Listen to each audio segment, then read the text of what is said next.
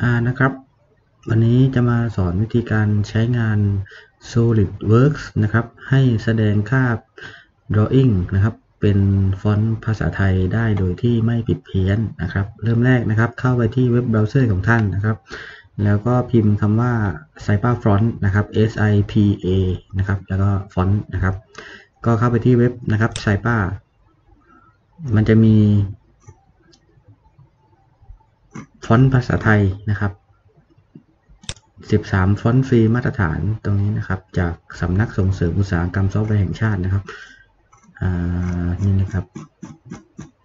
มันจะรวมกันทั้งหมดมี 13 ฟอนต์นะครับ ก็เลือกเอานะครับ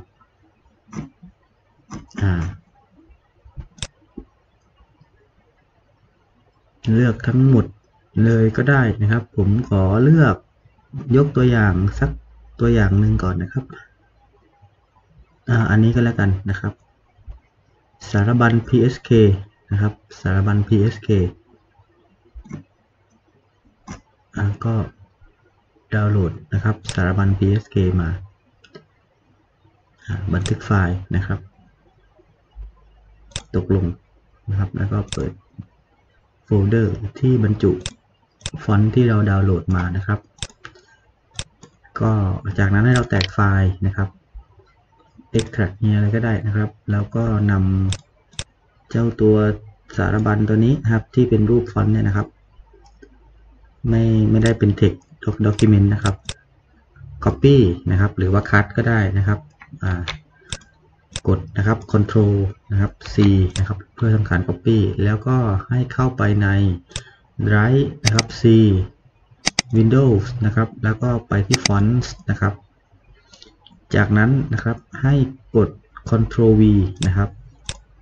Ctrl V เลยนะครับอ่าถ้ามันมีอยู่แล้วมันก็จะแจ้งเตือนนะครับ ลองกด yes นะครับ เพื่อ replace นะครับ ของผมก็มีแต่มีน่าจะไม่ครบนะครับเมื่อทำการ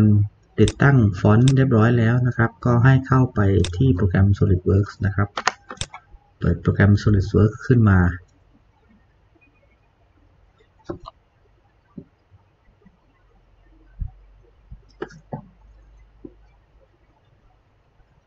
เปิดขึ้นมาแล้วนะครับ ก็ให้เข้าไปที่ new นะครับ new document ของเรานะครับ ก็เข้าไปที่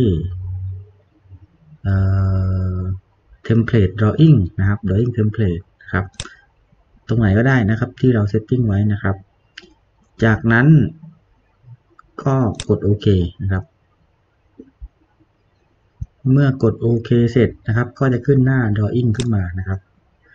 ให้เราเข้าไปทำการ setting นะครับที่ option นะครับ option แล้วก็ document property นะครับ เมื่อมาถึงตรงนี้นะครับ ให้เราไปที่ annotation นะครับ font นะครับตรงนี้เราก็เลือกนะครับฟอนต์ที่เราติดตั้งไว้เมื่อกี้นี้นะครับ สารบัญนนะครับตะกี้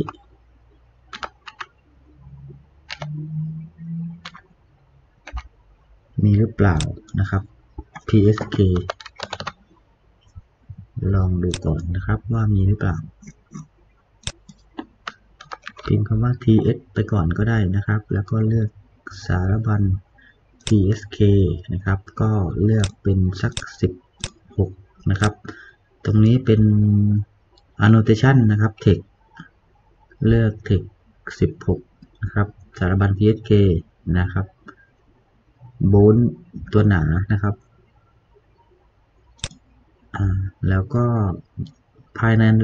ภายใน annotations นะครับ ตรงนี้ก็กดเครื่องหมายบวกนะครับบอลลูนเนี่ยเราจะเอาเป็นอะไรนะครับ อันนี้ก็เป็นตัวนี้นะครับ ตัวนี้มันจะอยู่อยู่ภายในนะครับ ถ้าเราจะเปลี่ยนก็มาเปลี่ยนมาเปลี่ยนได้นะครับ ตรงนี้มันจะเราจะเซตเป็นสารบัญ PSK ไว้หมดนะครับ เพราะว่ามันเป็น อยู่ในลูกของ annotation นะครับ dimension นะครับ ก็มาเลือกนะครับ อีกเหมือนกันนะครับพิมพ์ th ก็ไปก่อนนะครับ ก็ th ก็หมายถึงไทยนะครับ ตรงนี้ก็สารบัญ psk เหมือนกันนะครับ10 14นะครับลองลองดูก่อนนะครับ ถ้าเกิดว่าเล็กไปใหญ่ไปก็เรามาแก้ไขตรงตรงตัวเลข ตรงนี้นะครับ เป็น point หรือว่าเป็น unit นะครับเราเราก็เลือกได้นะครับ ตรง unit ก็เป็นความหนุสูงก็ 4.19 มิลนะครับ ถ้าเป็น point ก็ประมาณ 14 นะครับ dimension ตรงนี้นะครับ ก็มาเลือกนะครับ ได้ว่าเราจะเอาฟอนต์ไหน ก็เป็นลูกของมันตรงนี้ ถ้าเกิดเราเราเลือกอตัวตัวที่อยู่บนสุดนะครับ ตัวล่างตัวนี้มันก็จะเลือกถูกเลือกตามนะครับ table นะครับก็สารบัญ psk เหมือนกันนะครับ ก็ th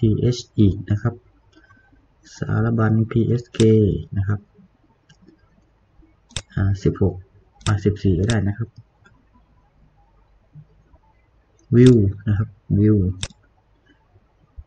ก็ ts อีกเหมือนกันนะครับ ก็เลือกเหมือนตัวเดิมเลยนะครับ psk โอเคนะครับอ่าโอเค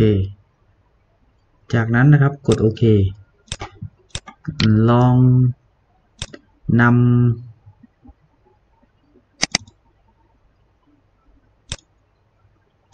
part นะครับ ตัวไหนก็ได้นะครับ มาทำการบอกขนาดนะครับ เพื่อสังเกต สังเกตตัว ค่าที่เราได้เปลี่ยนแปลงนะครับอ่าแล้วก็ลองใช้คำสั่งนะครับโน้ตอ่ามันจะขึ้นเป็น default ตรงนี้ก็คือเป็นสารบัญ psk มาให้เรานะครับ ดูว่ามันเล็กไปใหญ่ไปนะครับ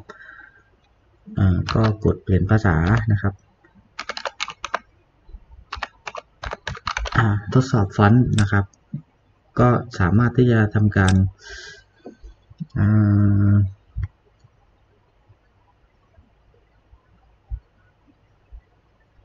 เขียนภาษาไทยได้โดยที่ไม่ผิดเพี้ยนนะครับ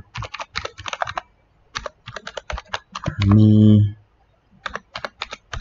ไม้เอกนะครับ มีสระสระอุนะครับ สระอู สระอิสระเอือนะครับ ก็ สามารถแสดงผลภาษาไทยได้โดยที่ไม่ผิดเพี้ยนนะครับ อันนี้ก็เป็นวิธีการนะครับ ในการ ใช้งาน SolidWorks นะครับ ด้วยฟอนต์ภาษาไทยนะครับ ก็วันนี้ก็ฝากไว้เท่านี้ครับ สวัสดีครับ